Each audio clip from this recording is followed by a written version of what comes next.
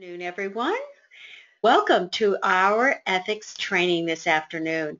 We are conducting our one-hour PDH on how shortcuts can kill people and destroy our environment.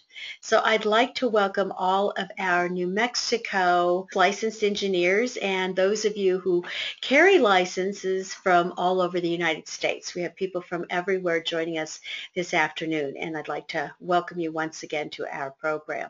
This program will fulfill one PDH. New Mexico requires that professional licensed engineers and land surveyors have at least two hours of ethics training every two years. And so we endeavor to make ethics training as interesting and as pertinent as possible for you so that you can really take a look at real life situations. And all of our programs are based on case studies of situations that have occurred in the past uh, in the United States. My name is Bernadette Vadurro, and I am the president of Speakers Live. I have been fortunate to work with engineers, scientists, and architects for a great majority of my profession. Although I am neither of those or any of those things professionally, I have a degree in business management and am licensed in business ethics and have been working to help professionals communicate and execute excellent contracts and preserve their integrity and and behave in ethical manners so that they can enjoy a long-lasting, excellent reputation. So that's just a little bit about me. I have trained organizations and corporations throughout the world. I have been speaking professionally for 26 years. And yes, I am a certified professional speaker by the National Speakers Association, which is the uh, highest designation allowable. You can remember me as Bern Adet, and last name is Vadoro, phonetically spelled. We're going to start off talking in part one about oil spills. And what we know about oil spills is that they frequently uh, do devastation to our environment and on occasion have been known to kill people in the process. So here is a graphic courtesy of High Country News that shows some of the largest uh, oil spills in the United States. And this is just from uh, 2010 to 2015. And so this shows a uh, what, what these oil spills, where they occur occurred and uh, the numbers of them. And again, they're just the largest oil spills. Um, since 2010, we know that there have been over 33 33,300 incidents of crude oil and natural gas leaks or ruptures alone in the United States. Our, the industry continues to tell us that they're safe. And what we know is that engineers that work in these fields often are the last to um, be consulted in some of the projects. And we know that you are the ones that ultimately have the solutions to uh, preserve our environment and protect people. And so this is a, a, crucial area for us to begin looking at. So the first part of this program is very visual. I have actual pictures of slides, uh, courtesy of various organizations that we can begin looking uh, at. Uh, here's a recent one from last month, um, September 9th, 2016. There was uh, 340,000 gallons of gas spilled in central Alabama. Uh, the governors in six surrounding states declared an emergency, and it wasn't necessarily about protecting the environment or the people, but the emergency was the concern about how the consumers of their states would be able to get their gas and oil needs met because the pipelines had to be shut down in this particular situation that occurred. We're going to move on to another uh, example. Uh, January 6th of 2015, uh, there was a ruptured pipeline that leaked 3 million gallons of brine into two creeks near Will- Williston, uh, North Dakota. And brine is a toxic mix. Uh, it is uh, much, much, much saltier than ocean water. It is laced with heavy metals and fracking chemicals, and it contains uh, so, um, contaminants that uh, poison our soil, uh, vegetation, kills aquatic life, and it has been extremely uh, threatening to our environment and people's health. Um, The, uh, there was a case study done by Duke University that showed a wastewater spill had caused uh, widespread water and soil con uh, contamination a year later when they came in to do the actual study. Um, we know that um, Chemical and Engineering News said this year that toxic chemicals from fracking wastewater spills can persist for years. And North Dakota, they've had a huge boom, and as a result of the boom, the uh, the safety uh, strategies have not been as as diligent as we would like to see. And that creates a huge ethical concern for most of us. We, we recognize that, um, that we have the technology today to be able to, uh, to pull oil out of the ground and, and harvest but we have to really put an enormous amount of care and protection in the way that we do that. So we'll continue looking at some of the spills that have occurred just recently again. Uh, Plains All-American pipeline oil spill in Santa Barbara, California. This is an actual picture from May 20th. Uh, um, May uh, 2015, and this is a photo courtesy of Associated Press, that shows the beaches that were just completely uh, filled with uh, waste oil, uh, leaking crude that came out of the pipes. And this was an interesting case because the uh, All-American uh, pipeline actually heard the alarm go off in their Texas offices, and they shut off the alarm we don't know why. The case records have been sealed, but the initial investigation showed that the alarm system did work, it did go off, and the employees that were sent to look or were not alerted to go look at to find out what was going on. How the company became alerted to this particular oil spill is because of the stench of the oil that was spilling from ravines onto Refugio uh, State Beach, which was a very pristine and popular park for swimming and camping. So there is no automatic shutoff valves, which is presents a huge problem for many of these oil um, Uh, dispensing pipelines and when alarms, I don't know if they're getting a lot of false alarms or why they would shut off the alarm and not immediately have people on the ground to investigate to see what is going on. What we do know about the Plains All-American Pipeline is that they did report $43 billion of revenue in 2014, just the year before this particular incident, and 878 million in profit. We also know that this particular company has rates of incidents that are three times the national average. Uh, the company had been cited for 175 violations involving pipeline corrosion, operator error, pump failure, and equipment malfunctioned. Uh, their incidents caused more than $23 million in property damage and spilled more than 688,000 gallons of hazardous waste, according to federal records. So this particular company, the Plains All-American Pipeline, is the fifth worst company out of 1,700 pipeline operators. And so we see that the public has become very skeptical about safe piping of uh, of uh, fossil fuels across our country. And this is part of the problem, is that these, uh, these constant reports from around the nation. Um, ExxonMobil and uh, on January 17th, uh, 2015, had a, a pipeline rupture uh, in Yellowstone River, and it dumped 50,000 gallons of crude oil. Uh, they are still recovering from a, a crude gusher that went into the Yellowstone River back in July 1st of 2011 when 63,000 gallons of crude gushed into the Yellowstone River.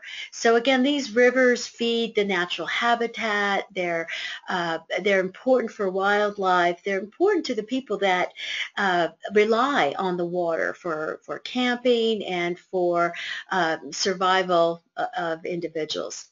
Now we all know about one of the worst oil leaks, uh, uh, and that was the Deepwater Horizon oil spill in uh, 20. Um, the 20th of April 2010 and it spewed until uh, September 19th of 2010 and it was considered the worst uh, one of the worst oil spills in the United States. And this is a picture uh, that NASA took of the oil spill on May 20th and this is from outer space and all of this glistening is from the oil spill and the uh, contaminants that they put in the water to, tar- to try to break down the oil, which actually indicated by many environmentalists was indicated to make the in um, the catastrophe even worse than it than the oil itself. Um, the pollutants that were put in the water to break up the oil were considered uh, worse than that. So I have a question for all of you watching and listening.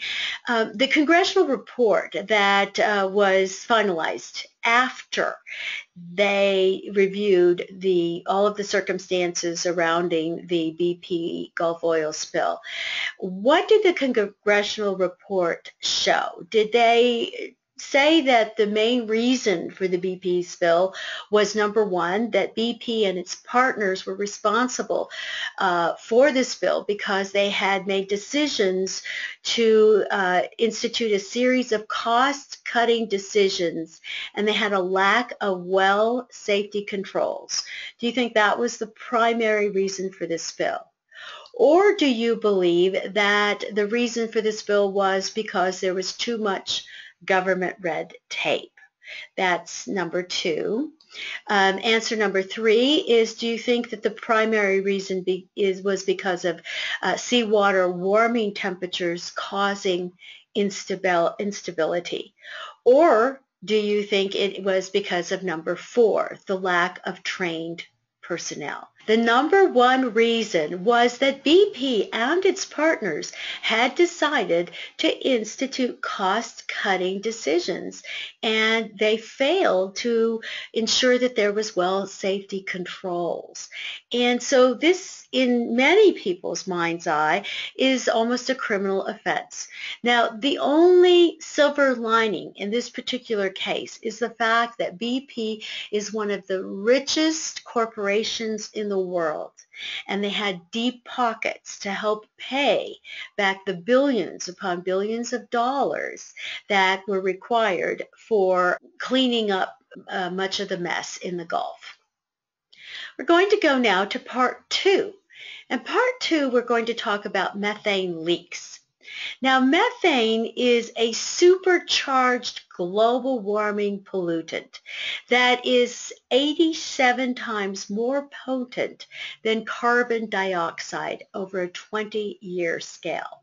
And this here uh, is the Four Corners area in New Mexico. It's in the Farmington area of New Mexico if you're looking on your slides. And this basically is where we'll see in just a little bit where there was uh, a huge issue that occurred um, most recently. But let's move to our next slide as we talk about the Aliso Canyon leak. Aliso Canyon is a prestigious community in Southern California. It is in the foothills of Los Angeles where people that have a little bit of money live and enjoy their life, the Sunshine State of California. In 2015, last year, um, Porter Ranch, California, which is a part of this community, uh, there is a company called Southern California Gas, and they have a large uh, storage facility. That storage facility began leaking methane at a rate of more than 66,500 pounds per hour. This is an, a huge amount of methane. And the dangerous thing about methane is that you can't see it. Sometimes you can't even smell it. Uh, but the nearby residents and employees of SoCal Gas were complaining of headaches, dizziness, and nausea. The um, SoCal uh, Gas ended up with the responsibility of recognizing that two schools uh, nearby were closed, and the company paid to relocate 2,500 families as a result of this leak.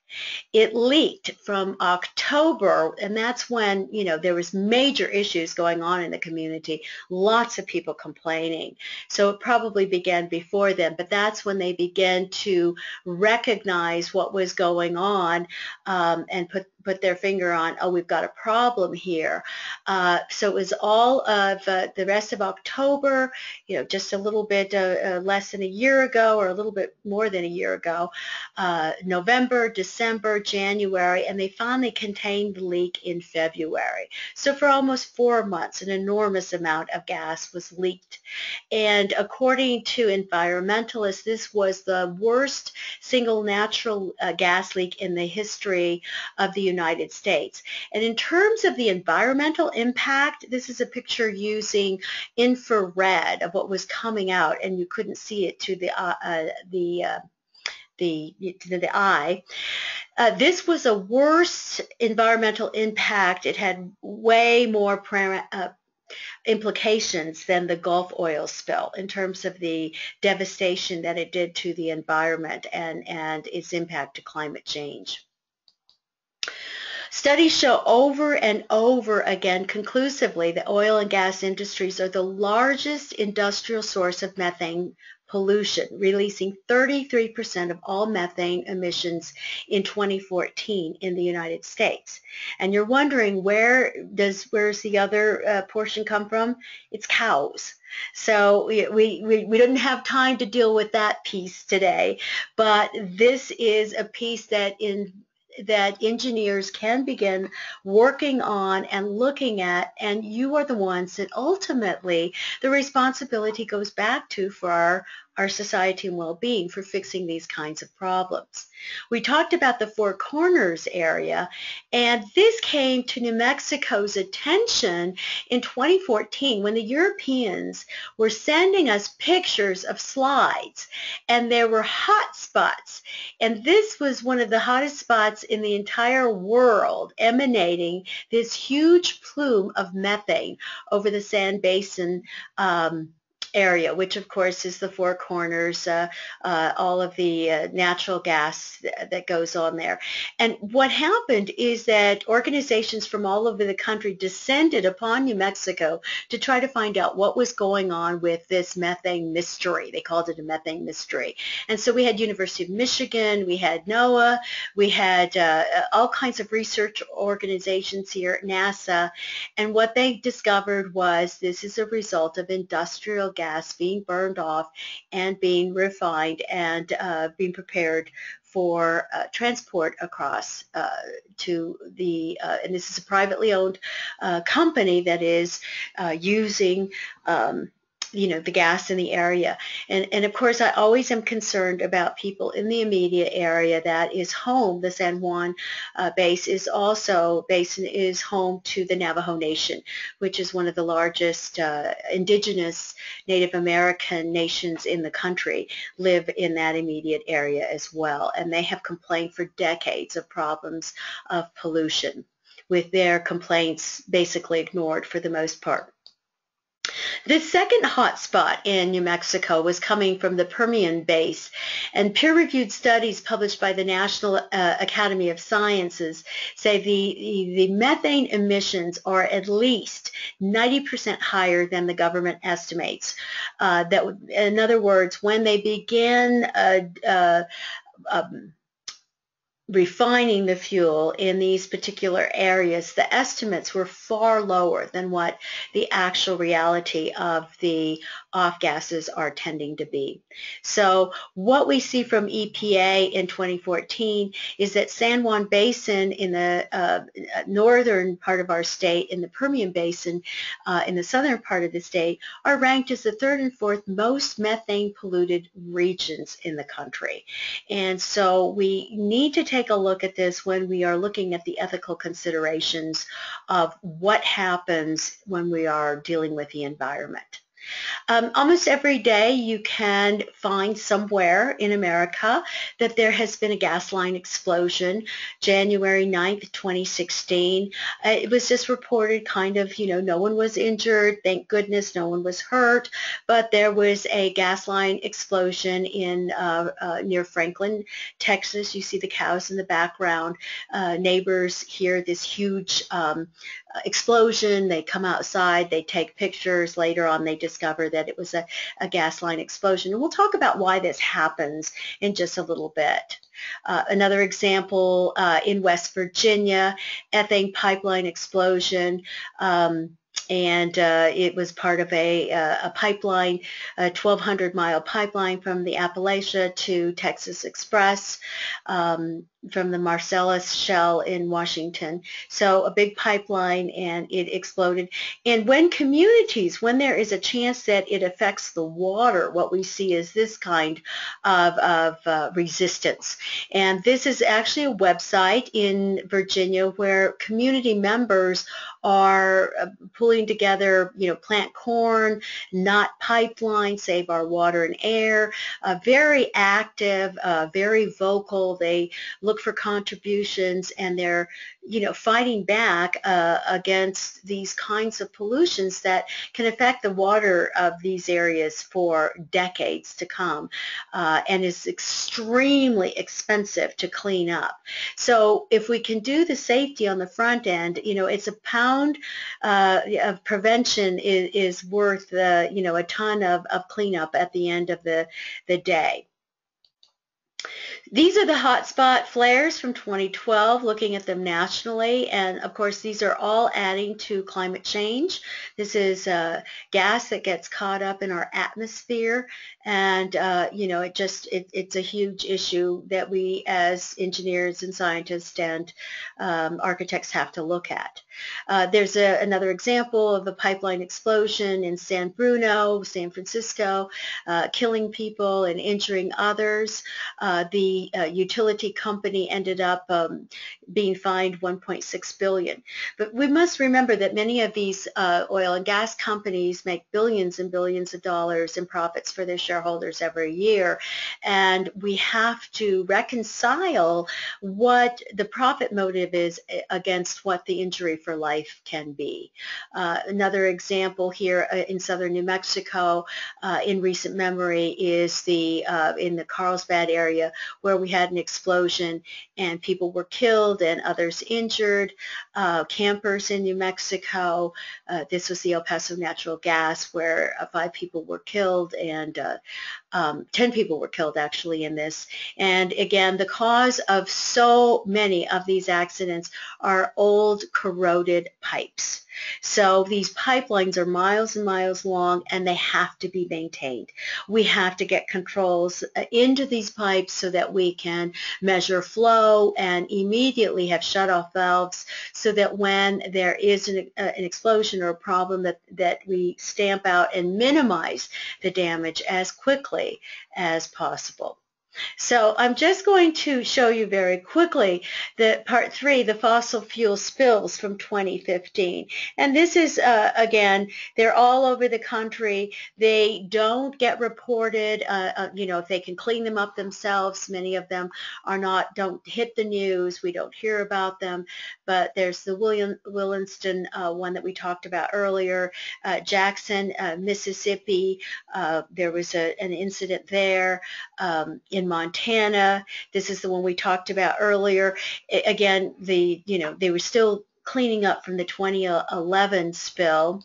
Uh, we have uh, events in North Dakota, West Virginia, Iowa, another one in West Virginia, these having to do with uh, cars carrying crude oil getting derailed, uh, fireballs, uh, you know, exploding in the air, and then governors calling uh, emergency for counties. And what this means for everyone often is that the taxpayers end up picking up the tab for the emergency cleanup. Uh, NOAA and all of these other agencies paying overtime, uh, having volunteers come in, uh, you know, having to bring in water. Uh, what we know about this is that many of these communities are now forced to drink bottled water or uh, boil their water before using it. Another example in Illinois, Houston, Texas, uh, this was an interesting case in Houston, Texas, where um, ships collided in the channel and a Danish tanker was carrying 216,000 barrels of gasoline or, you know, MTB. Uh, MTB has been banned in the United States uh, since 2005. And what happens often with these companies is they will quickly settle, uh, you know, maybe even billions of dollars and ask that the papers related to the incident be um, sealed.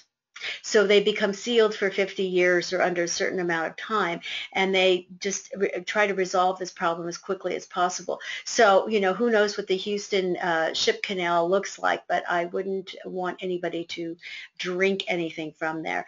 Uh, North Dakota, Arlington, Texas, Fresno, California, again, fracking fluid, brine, uh, natural gas explosions, uh, more in North Dakota. Um, this is the one that we talked about. It had different names uh, here it's referred to as the Golota or Golota, California. This is that uh, all-American pipe that we talked about earlier, and we saw the pictures of the um, the leak into the ocean. Uh, Little Rock, Arkansas, Pennsylvania, Louisiana. This is just 2015.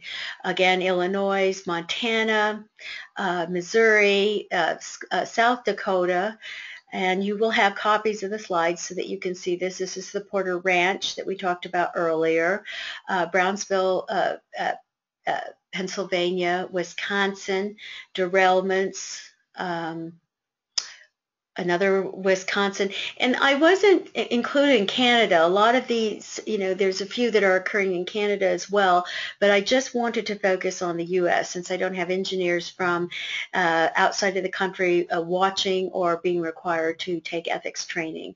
Um, so rail yard, um, and then December 1st, the final one in North Dakota, another brine accident. So according to the EPA, they say that there's an estimated 14,000 spills each year, but they say that many of them are small enough to be cleaned up by the company themselves and not necessarily reported or widespread alarm about those.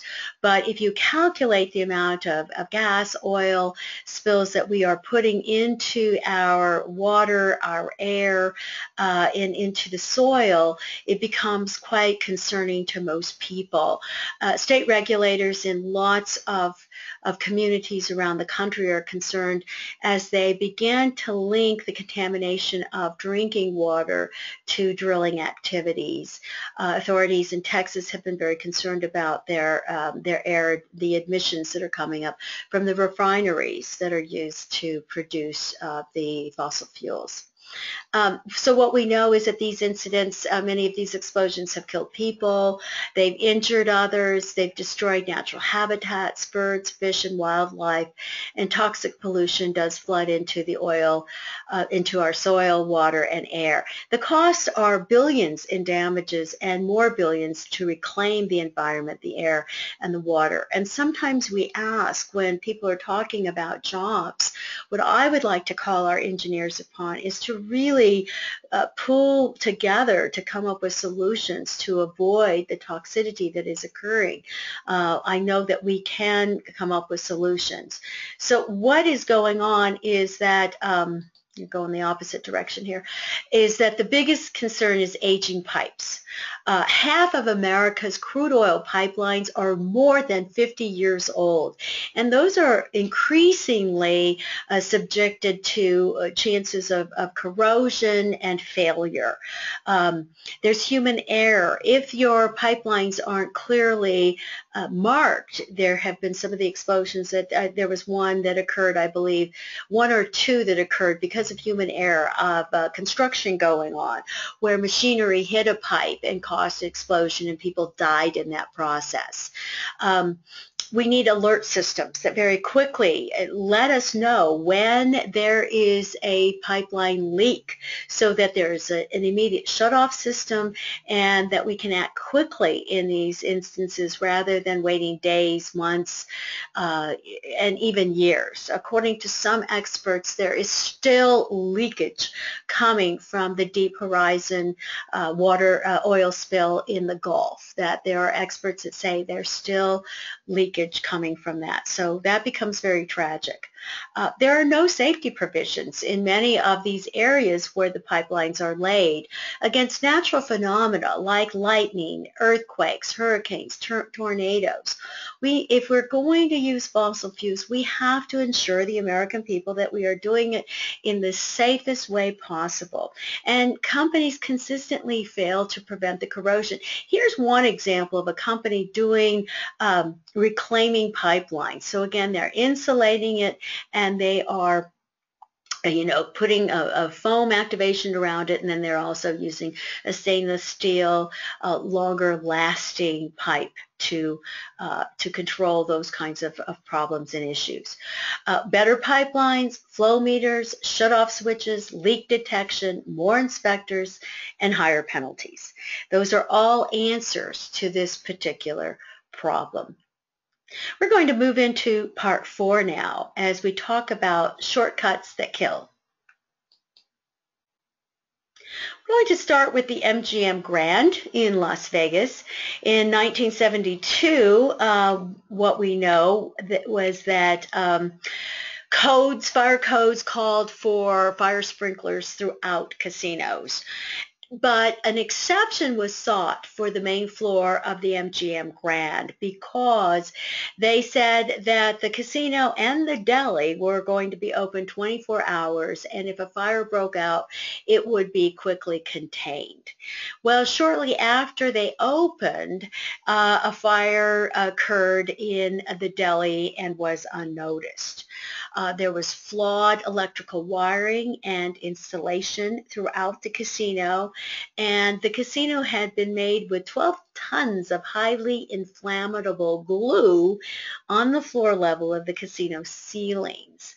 So between the flawed air control system, air was pushed up and carbon monoxide actually rose to the highest levels of the guest rooms in the casino. So this is eight years after the casino was built. Um, the fire took place on November 21st, 1980. And the fire and smoke spread rapidly throughout the main floor, into the upper floors. 85 people died, mostly from smoke and fume inhalation, and uh, there were millions of dollars in settlements um, for the damages that occurred. Uh, 700 people uh, were injured as a result of the fire. And what the inspectors said were that it could have been simply resolved had sprinklers been installed in the deli uh, and in the serving area. There would have been a very, very high probability that the fire would have been greatly contained. Carl Lowe, a fire safety inspector, reported that the MGM Grand put their financial concerns above safety concerns. And we see that often is that people will put, you know, let's cut a corner here, maybe we can save some costs there, and then we end up with some disastrous results. So it's crucially important that we always stay on the side of protecting people, protecting our environment, and doing the ethical thing, even if it costs us a little bit more. It's always worth it in the long run. What we see um, as a result of these disasters time after time is that the cleanup effort, the settlement effort is becomes much more expensive than again that that just that little um, you know prevention that we could have to begin with. We're going to talk about Deutsche um, Bank uh, in New York where there was fraud, corruption, and disaster. This was a uh, building in 20, um, 2007, August of 2007, and the building was to be demolished. And um, the contractor, they, the, you know, everybody was involved, as is the case in many of these cases. We see that it's not just the company itself, but we see it's often the regulators who turn a blind eye to what is going on. It's, it's government officials who rubber stamp plans. So you, it, it's not just one individual. It's often many people that are complicit in the problems. But in this particular case, we had uh, smokers, uh, workers who were smoking on the 17th floor in violation of safety code. Um, in addition, there were huge amounts of plywood sheeting that had been used. This demolition was dealing with asbestos and um, so they were trying to do uh, a demolition and, you know, it, we all know if we've been involved in abatement, it's a tricky uh, situation to maintain that there's not cross-contamination of these uh, pollutants. And they had many heavy metals inside the contaminated buildings. So what happened is they put up a protective uh, a maze of polyethylene sheets throughout the um, the the building so that they could make sure that the the asbestos didn't move from one area to the other. So while the crews were removing asbestos, the fire spread in both directions, affecting a total of 10 floors. The building lacked a standpipe, which is standard in most businesses or uh, in the construction of most buildings, making the firefighting extremely difficult. The fire burned into the night before being extinguished and two New York firefighters died of smoke inhalation and carbon monoxide poisoning. 115 firefighters were injured and an enormous amount of toxic fuel was released into the environment. The contractor involved was Bovis, who was uh, found guilty of uh, being involved in a overtime scheme uh, when they were contracted to demolish the bank tower. Their workers were padding hours, taking vacation time. Uh, all of these in unscrupulous practices in order to increase the amount of the contract. Uh, the building itself was riddled with workplace violations that uh, normally don't take place when you're doing a demolition. Um, the crews were moving at a glacial pace, just removing one floor at a time. And ultimately what was discovered was that uh, Bovis uh, Lend-Lease, who had been up to the time one of the biggest contractors, ended up admitting to routinely inflating bills on New York uh, City projects for years, thus ripping off taxpayers and developers. Um, three people were indicted in this particular case, and they ultimately were not found guilty. There were so many different culprits involved in this. Again, uh, city development officials, uh, permit, permit planning, uh, you know, the engineers at different levels, inspectors, along with the contractor. The company did agree to pay $50 million in fines and restitution for scamming uh, work at, at Citi uh, Fields, at the Grand Central Terminal, American Museum of Natural History, and many other profile high cases. So again, those three employees were indicted, yet no one was ever convicted.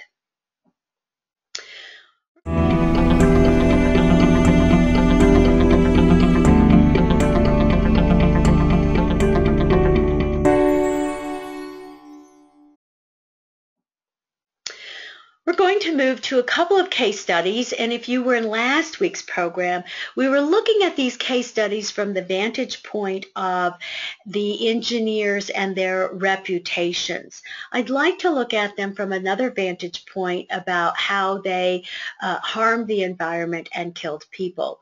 So we're going to start with a case, the case with uh, Flint, Michigan Water. And just a little bit of background to bring you up to speed on this particular case. Um, since 2010, there have been nine cities, 51 municipalities, and 38 utilities that filed bankruptcy. Flint, Michigan being one of those uh, municipalities that filed bankruptcy. And so this broke city was looking to reduce cost. Um, the Flint water crisis is, is said to have been an unintended consequences of the state of Michigan to take over Flint in 2011. When Flint could not pay its own bills, the state of Michigan began uh, the fiduciary responsibility of managing the uh, the bills and the, the income for the city of Flint. And uh, one of the things that the governor of Flint instituted when they went into this emergency situation was to put in place these emergency managers. And these managers were unelected, but they had total uh, responsibility and authority for the decision making of the city of Flint. And I'd like for you to think about uh, the city of Flint, which we'll look at in just a moment, a very, very poor city with a large minority population. If this had been the city of Ann Arbor, would things have been different?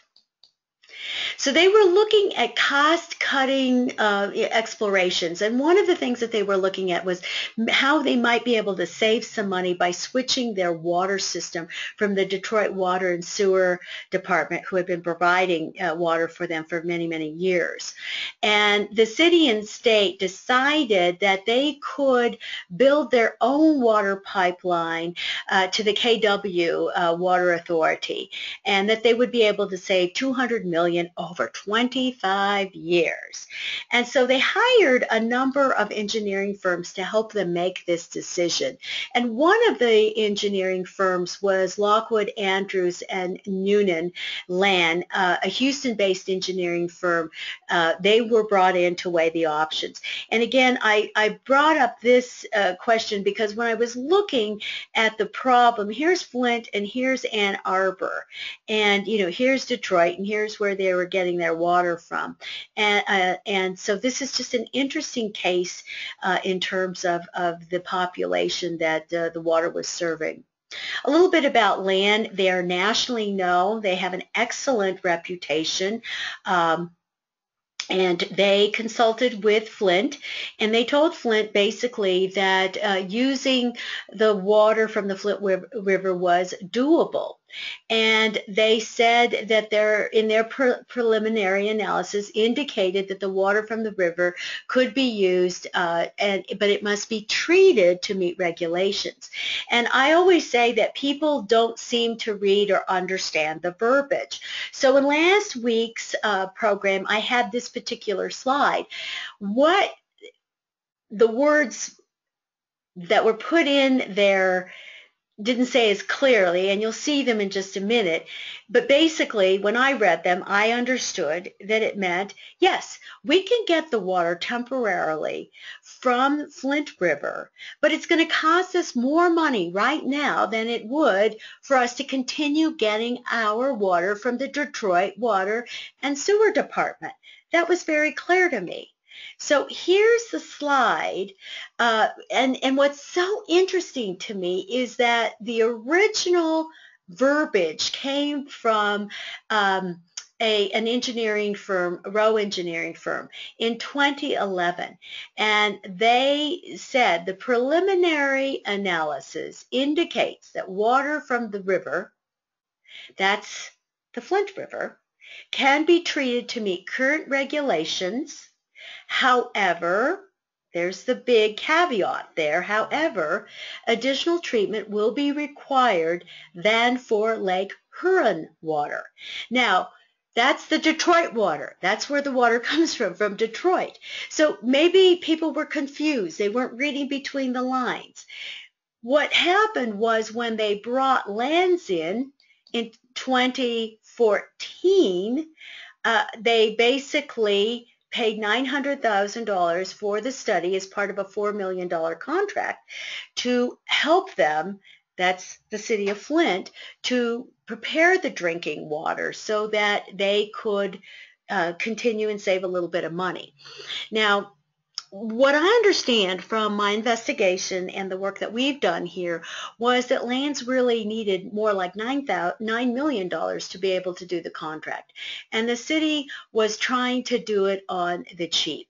And people who really knew nothing about water, water treatment, they were not engineers, and those engineers for the state of uh, Flint were criminally involved, and you'll see in a little bit how they were charged uh, criminally uh, for their uh, not only standing up for the people of Flint, but for uh, being uh, felic- uh, you know, just lying, straight out lying about what was going on in the water. So they, either they were grossly incompetent, didn't know what was going on, or were paid by somebody else to, to lie to the people of Flint.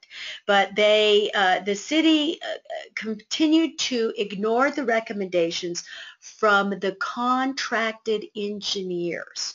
And that would have been LANs and uh, uh, Veolia and some of the other engineer companies that were brought in on contract and the city wanted to do it, the state wanted to do it as inexpensively as possible. And it was really the state's mandate with their emergency managers.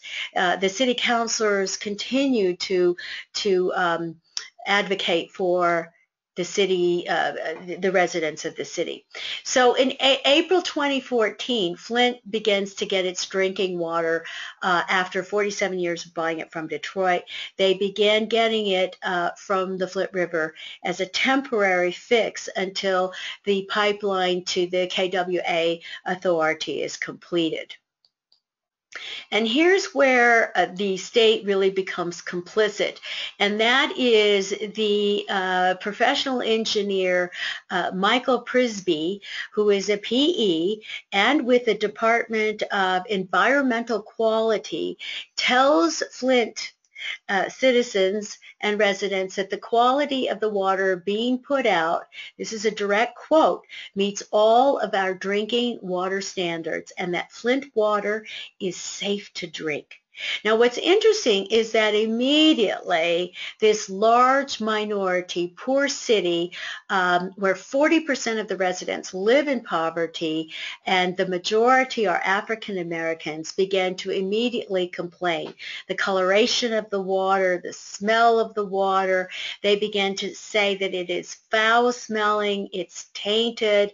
Uh, residents are starting to get uh, hair loss, rashes began, and you know, know, these are all actual pictures in this slide of, of things that are coming up uh, with the babies, the, the women, the, you know, the men from washing, soaking in the, this tainted water. So the switch was made April of 2014, and these are the complaints that are coming forth May, June, and July. And the um, city officials uh, that you know, are screaming to the state. The state is insisting that the water is safe to drink, that it's fine. Uh, in August and September, uh, people began taking samples out, and the public service information that is uh, that uh, is being spread from the state to the community is that if you're going to do a water sample, make sure you let your water run a certain amount of time, blah, blah, blah. Uh, but E. coli and other bacteria are found in the Flint water supply. So in August and September, remember, they changed over in April. So this is now six, you know, it's, what do you have, April, May, June, July, August, September. Five months later, they're telling residents to boil the water before drinking it. Um, so in October of 2014, General Motors actually gets uh, permission from the emergency management uh, manager, Darnell Early, to disconnect from Flint and go back to Detroit water because they say that Flint water is corroding their engines. And the um, uh, Earl Early, the, uh, the appointee by uh, Rick Snyder, the, the uh, governor of Michigan gives them immediate uh, allowance to go back.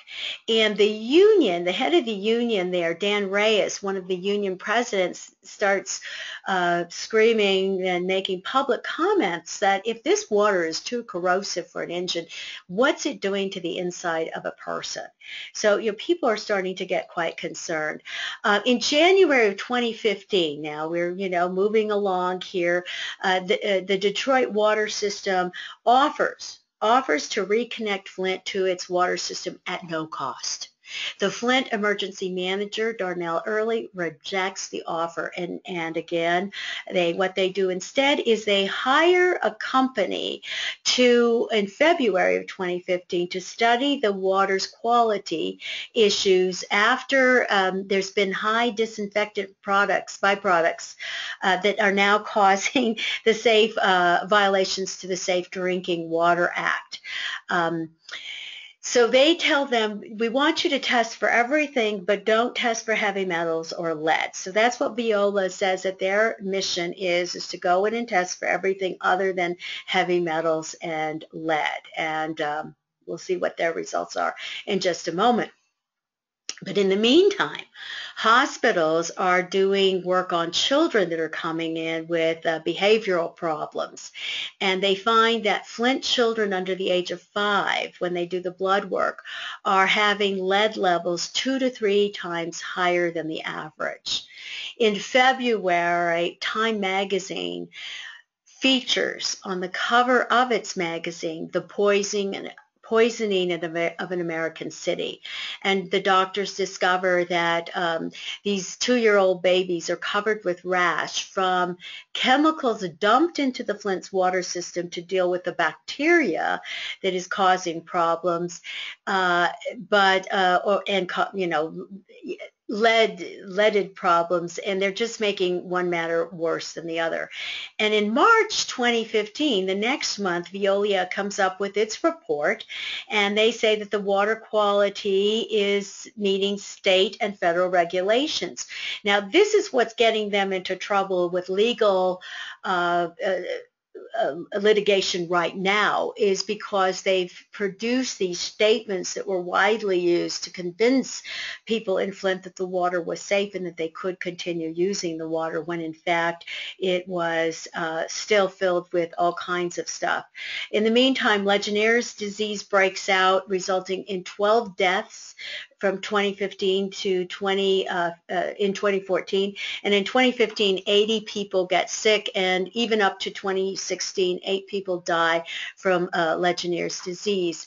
Uh, in the meantime, try, try halomethanes. You engineers probably can say that better than I can. Uh, these horrible chemical uh, compounds that are highly carcinogenic are being found in the water um, as a result of um, you know, the disinfectant that has been put in the water. And what they find is they're combating all of these different issues, and this is what the pipes are looking like. They are causing huge amount of corrosion because they're increasing the acidity in the water to try to combat some of the, the uh, bacteria in the water.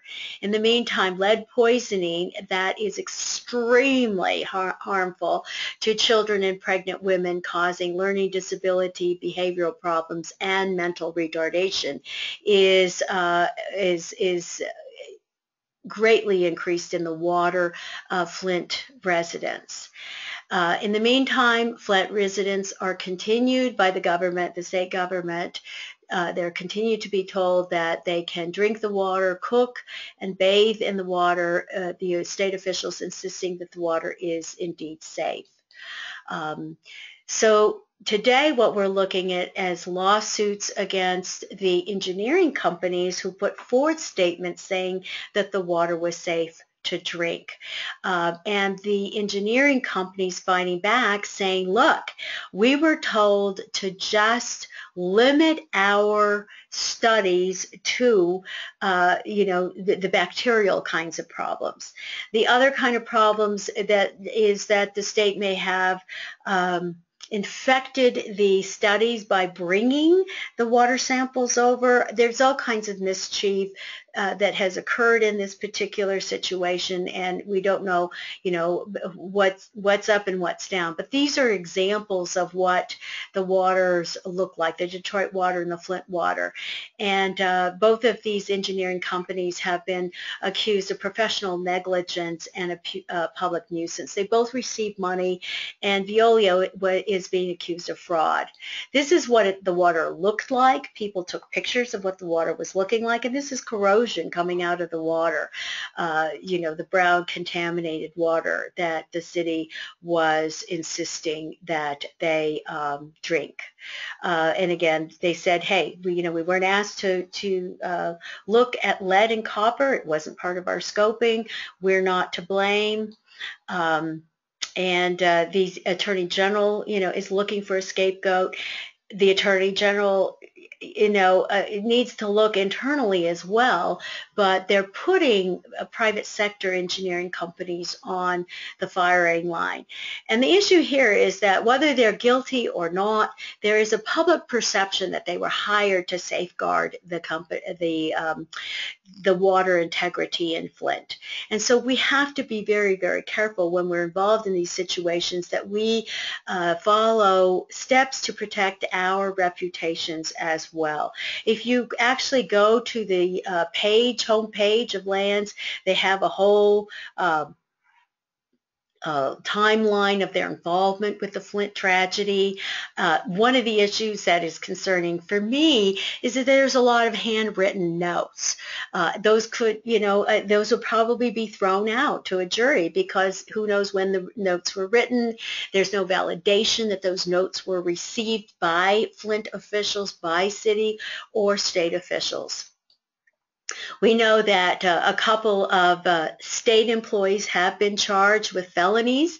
Uh, engineers, professional engineers, Michael Glasgow, uh, eh, Stephen Bush, uh, Michael Prisby, all uh, charged with um, with felonies. But the community of Flint continued to drink contaminated water uh, to 20, uh, up through October 2015. And the governor uh, issuing statements in 2015 saying that the water was safe and then later saying that he was relying on falsified reports by the, his own Department of Environmental Quality. Um, we know that that acidity caused the, the, the leaching of the pipes and increasing the lead. Uh, in the homes. And, and here's the statement of October 2nd directly from the governor of Michigan telling people that the water is safe.